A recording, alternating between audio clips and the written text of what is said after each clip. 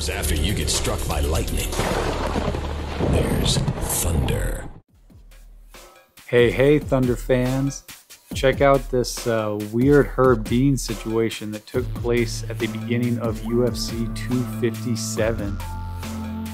It looks like Marina Rodriguez is going to get the finish, but uh, Herb Dean gets so close, so, so close, but doesn't quite stop it. Look, it's so close, but doesn't stop it. What do you guys think? Let me know in the comments.